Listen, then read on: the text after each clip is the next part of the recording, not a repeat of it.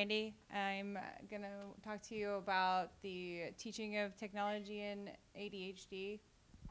And I'm Chrysalyn, and I'll be talking. I'll be doing the introduction to technology and ADHD.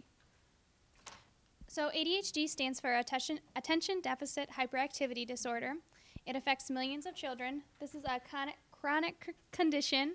Uh, therefore, there is no cure, but medical researchers are looking to uh, to work with children to help subdue their symptoms.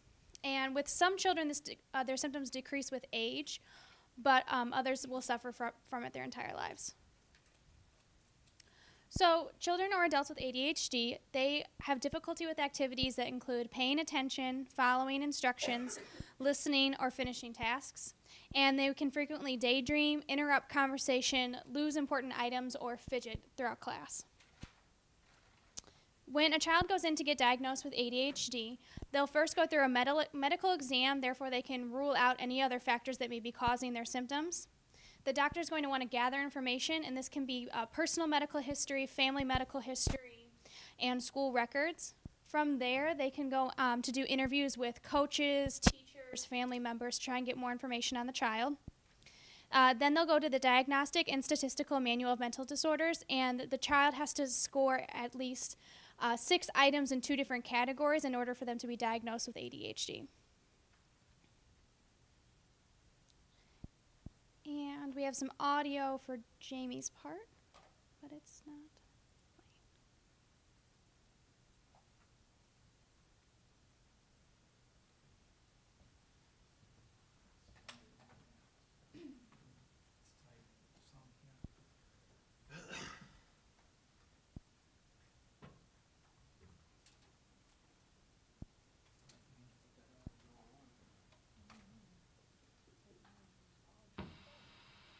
There are some common causes surrounding ADHD. Of these common causes, there's hereditary, exposure to toxic substances, brain trauma, food additives.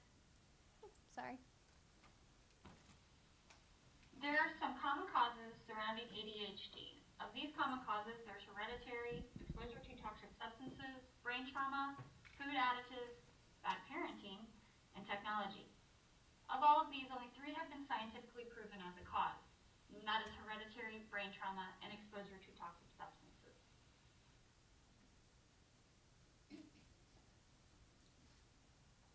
Eight years ago, the first iPhone was released. Over the last eight years, ADHD has seen an increase in diagnosis of 42%.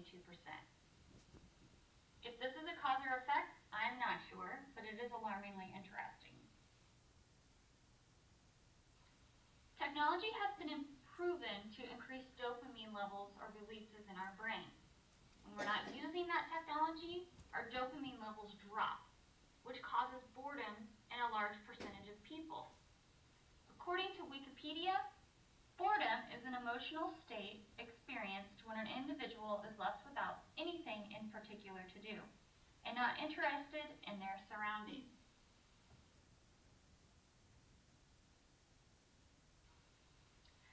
Medicine to treat ADHD and technology both increase dopamine levels in the brain.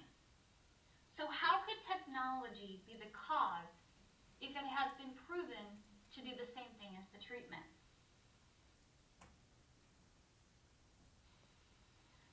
In my opinion, ADHD is just misunderstood. Technology only serves as a distraction, not a cause. And technology is a common resource that can be used in determining diagnosis for ADHD. Who said I was easily distracted? Squirrel.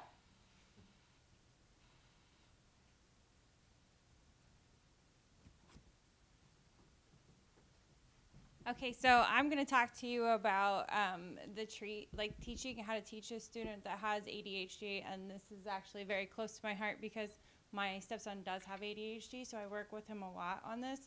Um, my slides are full of a lot of information, but I'm actually going to just talk to you about them because, I mean, if any of you need to know more about it. Um, direct instruction uh, students who have adhd they really need for people to be clear and concise and tell instructions frequently they can't just you can't just sit there and you know tell them like we would here in class. You have they have to hear it several times for them to understand because their ability to pay attention is so minimal sometimes that they, they don't even hear what you're saying. Um, auditory cues and visual cues are good things to have. Um, so like for instance, like for my son, we have um, a timer that goes off every 30 minutes or so, and it reminds him that he needs to do something else. That's all it is is a reminder. Um, peer tutoring it is good for when they're in the classroom environment is to have like the other kids understand what's happening so that they can help uh, encourage the student to stay on track. And it's really i found with my son that it was more uh, it was not helpful for him to be sitting by somebody else who was having a hard time paying attention in class some of those kids that are more the bad kids not the kids that have adhd tended to push him towards a bad area. So we, after talking to the teacher, we learned that um, if we set him with somebody who likes to study, he's going to pay attention to what that kid's doing. So that helped with us a lot. Um, instructions, multi-step instructions, are very difficult for kids who have ADHD. Um, my son, we have to, we have a specific way we learn our spelling words. Uh, we start with um, we put him in a like a, a quieter area, like at the kitchen table, and he writes down in the words five times a piece. Once he writes down the words five times a piece, then he recites them to me and tells me what the words are. And then we go to the next step, which is, you know, I ask him the word, and he repeat he tells me how to spell it. And then we go to the third step, which is where I spell the word and he tells me what the word is. Um, we have been doing this this way this whole entire year. He got held back in the in kindergarten because he was having such a hard time with spelling that they thought he was going to be in the special ed class. How old? He is right now. He's eight.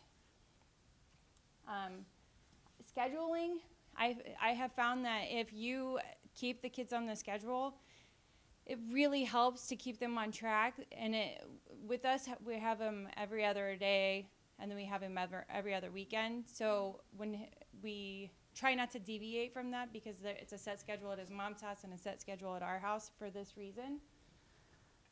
Um, this is him when he was seven. It's a good idea to keep them active. If you are sitting there and you're, and he's just like messing around constantly, it's good to get him up and do something. Um, I found that spending too much time on his iPad or um, playing video games, it really isn't that it's bad for him. It's just that he's sitting idle for so long. And then as soon as he's done, he's like, oh my gosh, I'm hyper and I need more help. So we have a certain amount of time that he's allowed to do uh, technology. TV, that includes TV, video games, everything. He gets a, about 45 minutes at night. Then afterwards, we have to have him sit down and uh, read a book this helps like calm him down and bring his levels down. And we go to bed at eight o'clock specifically so that he cannot, because uh, he'll go to bed at eight o'clock but won't fall asleep till eight thirty or eight forty-five because his brain just keeps going. Um, being able to reward him. What we have started this uh, year is great because we have, um, once he had a month of 100% on his spelling test. We had a cake and a party. And then we did a three month of 100% on the pre-test to where he doesn't have to take it on Friday.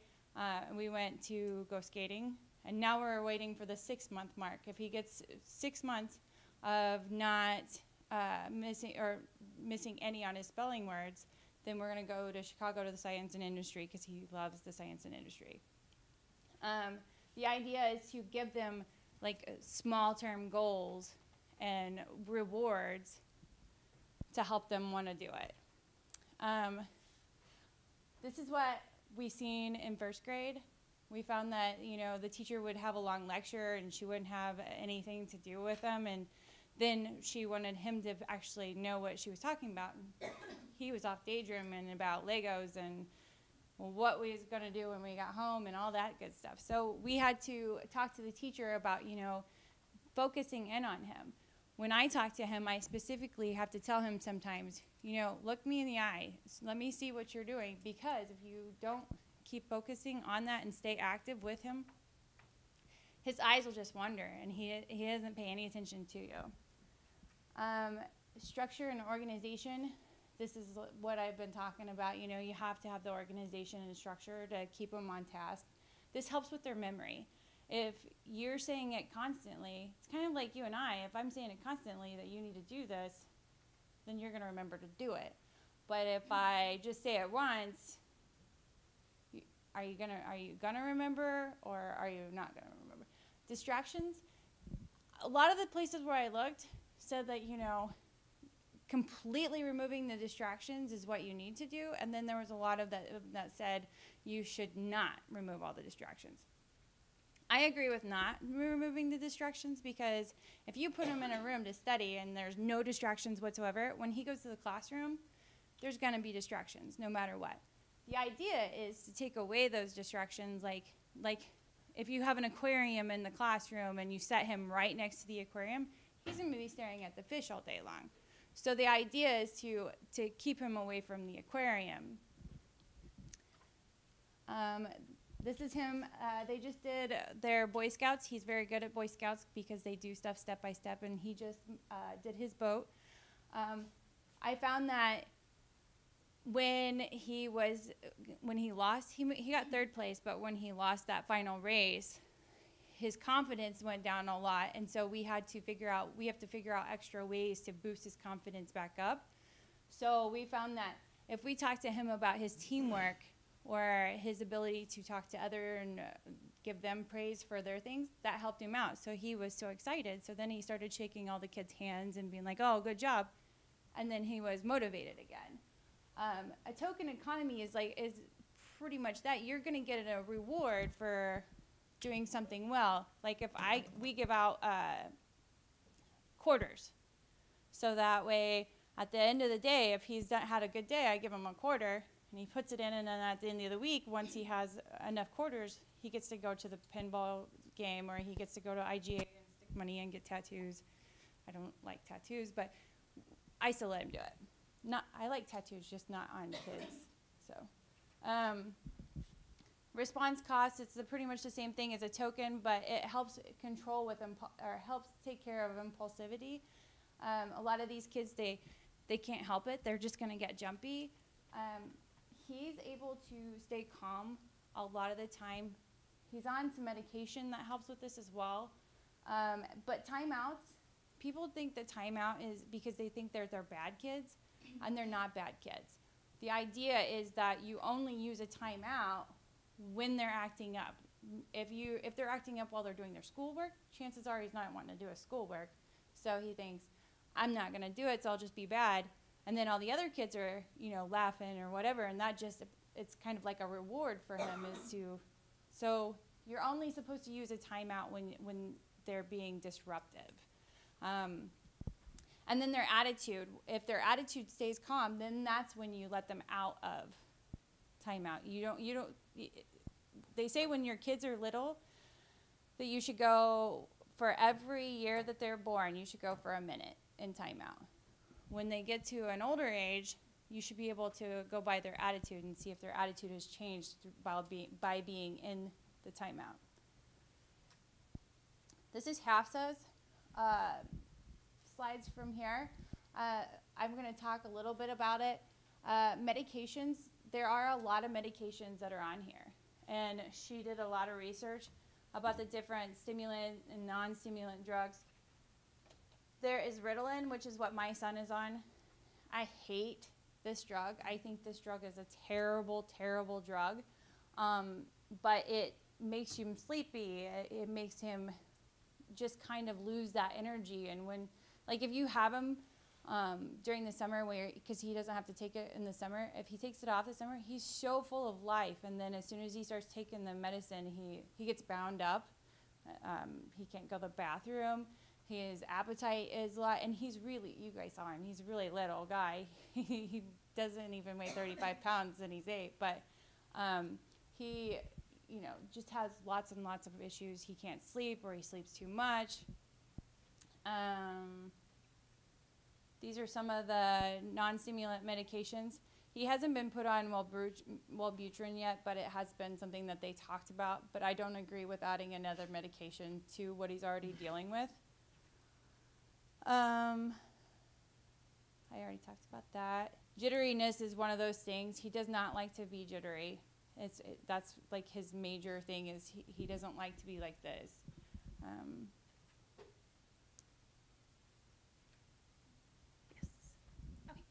So the next part is that ADHD treatment uh, should combine combine conventional treatment techniques such as medication, so the stimulant drugs or non-stimulant drugs, along with behavioral therapy uh, to help the student, especially those children that are going to have side effects along with it too, to try and see what we can do with behavioral therapy. One thing that was mentioned was using video games or computer games in order to help them focus that energy. Although you might think it will do the opposite, some of these video games and computer games they have specific tasks and rewards after you complete the task. Therefore, they're focusing in on following the directions, getting that done, getting the reward. Just as uh, Brandy was talking about earlier about doing rewards throughout. So that's actually how technology can help them practicing those focusing techniques. And um, like I said, these are computers, tablets, smartphones. Um, I said video games. I there was one uh, study done with positive psychology done in adolescents that really helped them focus using video games. Um, because it's something that's fun for them to do as well as can keep them engaged. When I was in student teaching, we tried to use the smart board as much as possible, um, getting the students not only just touching the technology because it's interesting, but it makes them get up out of their seat, come to the board, do something, then go back and sit down. So, um, in my opinion, that's why I prefer that over, say, an iPad because an iPad, then you're at your seat with the iPad instead of getting up and moving around. Okay, and um, so finally, technology can be a most important tool because it's exciting and interesting for children to use. That's for all children, not just with children who are suffering from ADHD, um, but it can also be an extra little bonus. Uh, so, tablet or smartphone applications can be used to develop certain social skills because sometimes these students and an extra condition they may suffer from is having trouble interacting with their peers because of the interruptions, the fidgetiness, um, not being able to pay attention. Sometimes they, sometimes they can struggle with that just a little bit more. Uh, do we have any questions? Very good.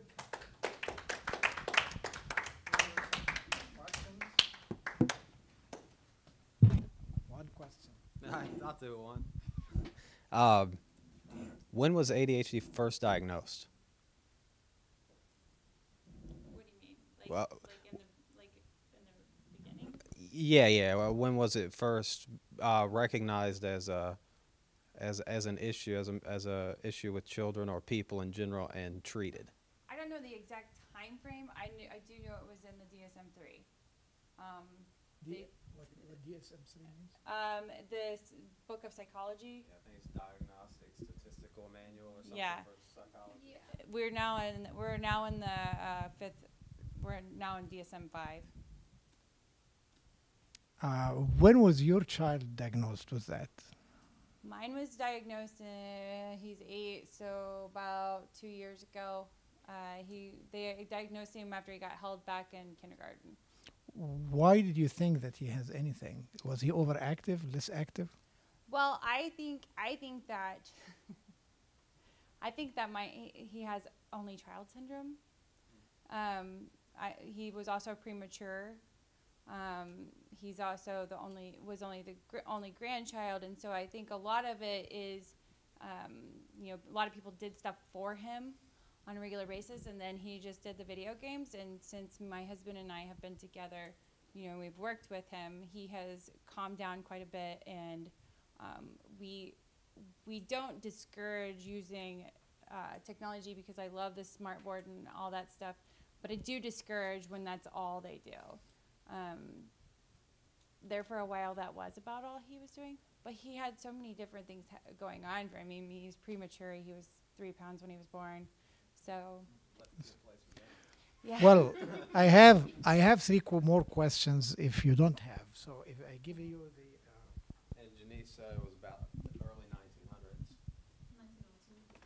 do you want to say something? No. Okay. Uh, there are some psychologists that they believe that there's no no such a disease like ADHD, and I have no idea. I just think that it's a it's a good idea to think to see it in ano- another aspect. aspect. It's like um, maybe, as you said, there are some reasons that makes you feel like this kid needs some helps, not drugs, other things. So, do you think it's true or not? Um, personally, I think he's a boy. He's an eight-year-old boy, and uh, if I remember all the eight-year-old boys, I mean, I'm a lot older than most of you, but I, if I think about all the eight-year-old boys when I was in school, they were all crazy, Dragons and- cowboys, Indians, all that stuff. They were always running around. They were always doing stuff. So I, sometimes I think he's just an average eight-year-old uh, little boy. But then when I watch him when he's learning, I and I read this stuff and I know more about this stuff. I, I, I can see his his learning, but I, I'm not necessarily sure that it is. ADHD. Yeah, I, I'm not really necessarily sure that it's. I know.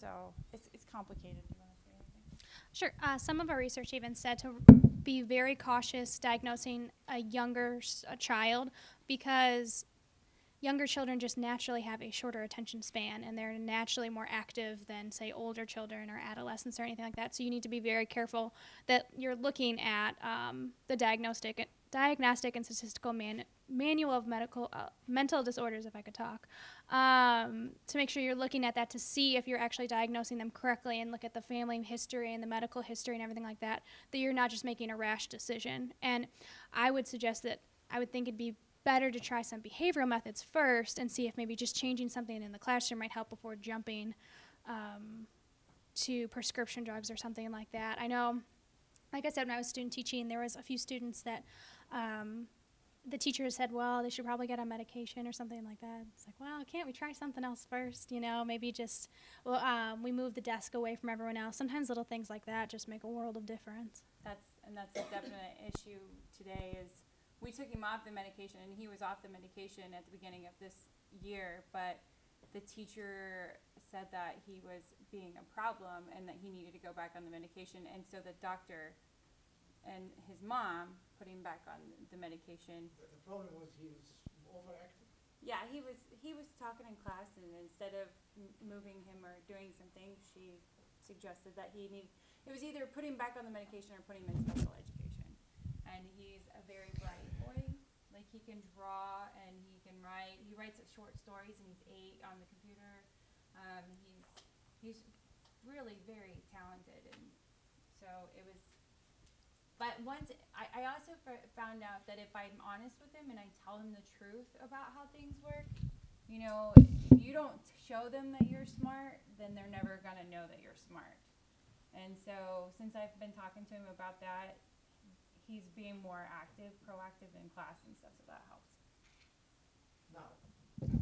There is a trend in the society now to take things that are behavioral and they say it is a disease that needs medication. For some reason, I mean, some behaviors that are kind of shifting from a behavioral stuff, behavioral thing, to oh, that's a disease. You have to take medicine for that. How true is this about ADD and ADHD and all this stuff? Because I have another question that I want you to verify for me. Just help me with that. I, I think there are. I, I, I really think that there are probably some children who probably do need the medication. Um, I, I, I don't know. You know, there's all sorts of different things in the world, and I can say that you know with like stuff like post-traumatic stress disorder or OCD or ADHD or ADD, there are actual like behavioral strategies that you could use instead of medication to help move these things along. Um, there's there's people are eating crazy things because they just can't stop themselves. Um, i i there's but there's actual psychology that you can use instead of a drug. I'm going to use it um, an example very loosely here. Some parents are busy, so they just put any video tape for the children just to get rid of them and concentrate on their work. So could it be that whoever is the teacher or the parents or whatever give him a medication to to This is true. That happens. So it is really our. Pro- it's, uh, we are the problem, not the children. I actually wrote it in my paper that you know that you people as parents should be educated when they're having the baby before they have the baby, like have to take a mandatory education on you know what parenting is. I mean, you are you are touching on a very important thing. No, nobody studies what marriage is Yeah. to start with, and they just jump in and have more problems or many problems. I will say that you know my my my older son, my 14 year old, who's very very very smart. He uh, at one year old could go and put a DVD in the thing and put it in and watch a movie until I woke up at five, like because he'd get up at five o'clock in the morning. um, but we had educational stuff and like his video games was like the V Smile and we had like you know things that would make their brain work instead of let's shoot them up, kill them up, and. I think it depends on the technology you're and the actual game you're using and at what age you're doing it. Minecraft. Like Minecraft is huge. So, to, to- My kids, all of my kids have Minecraft It's like on a drug. Xbox. It's like cocaine or heroin. what's that? Minecraft. I have a nephew. He's eight year. He's probably playing it right now Oh, yeah. because it's so it's so it's such an addictive game. my son's 14. I have a 14 year old son who plays that game. I have a 10 year old daughter who plays that game, and I have an 8 year old son that plays that game. As soon as one of you guys said so, talked about the video games about focusing on achieving a thing and then mm-hmm. getting a reward, I was I was like Jesus Christ, like Minecraft. Uh, My 8 year old son's actual birthday party was a Minecraft party. well, like two, crackheads. two, two, two quick, two quick questions. First, what's the difference between ADE and ADHD? Eh, sorry, AD, ADD and ADHD. ADD is just the uh, attention deficit. Uh, they can't they can't pay attention uh, uh, very well. Yeah, and then ADHD is where they can't pay attention very well, but they're always like on the go and they're always hyper. How would you say about there is nobody's absent? It's uh, they are present somewhere else. If they are absent from you and you're seeing that they are here, they are somewhere else. So the medication is not to do something to them, but to see where, where their mind is going there, and do your homework as a doctor or physician or parent or teacher or something. Well, if the medication is not used right, if the medication is not used right, it can make you daydream. It can make you go. It's it's a side effect to, to daydream, and if it, if you're giving it to somebody who doesn't need it, then You are hurting them. those are the side effects. That's why you see all these house moms taking Ritalin because they don't need it. It's something. It gives them something completely different than it would give somebody who has ADHD. Two weeks ago, I received an email, didn't get a chance to verify it, so please verify it. They say that the physician, the scientist who invented or started the ADD movement or ADHD movement and all the medication before he died, I wish he's still alive, but he died. That's what I read in the email. He confessed that he made all this up and it's there's nothing like ADD. There's nothing called ADHD, and he has some some relations with medication or drug companies, uh, pharmaceutical companies, and it's a big billion dollar thing. With the frenzy of everything is disease, everything needs a medicine. Now I cannot confirm or deny. I am just telling you the email that came to me. Is it a conspiracy theory? Is it this? I don't know. So please verify it. just one last point. Some of the medications are effective. You know, I mean, it's not. I don't think if you give a kid a medication for one of the d- diseases uh, and it allows the, the child to focus or it improves the behavior, I don't think that should be frowned upon necessarily. I don't I mean, so we we are chemical electrical creatures amazingly. So if you put some chemistry in me or some electrical i'll react somehow somehow. But i'm affecting some other stuff. So how much to de- to do i mean it's a big thing. Yes. I know, um, you know, kind of along the lines of what you know you were saying and what Brandy was saying that you know it's not necessarily that giving a medication like Ritalin or you know some of the others is bad, you know, if it's necessary. And I have seen you know cases where because I've worked at CTF, I worked at DFI, I've worked with children in schools who have you know ADHD and all sorts of other you know things, and you know I understand that you know some of these medicines do actually work and help curve you know some of the loss of attention or some of the you know jitteriness or the i've got to do this i've got to do that and the, the thousand and one thoughts going on up here while they're supposed to be here you know at this one point but for some kids it's they have what i call the naw um, HD, and that's just need a whooping, uh, hyperactive. You know what I mean? Because some kids it's just a matter of discipline and or and or you know behavior, as I call it, behavior modification. So like what Brandy was saying, you know, making sure that there's a set schedule, making sure that the kid is allowed to yeah do the fun things they want to do, video games and whatnot, but they're also you know they're made to focus on their academics. They're made to do this, and it, it just takes a parent putting their foot down or a teacher putting their foot down and providing structure along with that fun and that extra stuff that they want to do. So sometimes it's not always ADHD, sometimes it's just, you know, behavior modification as I call it. Well, they uh, they say too that one doesn't cause the other, but um, children that suffer from ADHD can also suffer from other disorders too. They're more likely than other children to suffer from other disorders like oppositional defiant disorder, bipolar disorder, things like that. So they could also be suffering, you know. I think medication is better when it's like the the older kid type frame. I don't think that giving it. I'm not. Nec- I'm not for giving it to an eight year old boy. I'm not for giving it to anybody under the age of like 14, 15, even. Actually, I would prefer that they be an adult, to be honest, because adults do suffer from it. Um, so, I guess my problem is, is I, I don't like the medication because I've seen what it does to him, and I personally am in agreement that you know there has to be a disciplinary. Now, uh, we don't advise you to stop this because I mean uh, it's it's a matter of thinking. Uh, what a group of thinkers you are, people! So just give it a thought.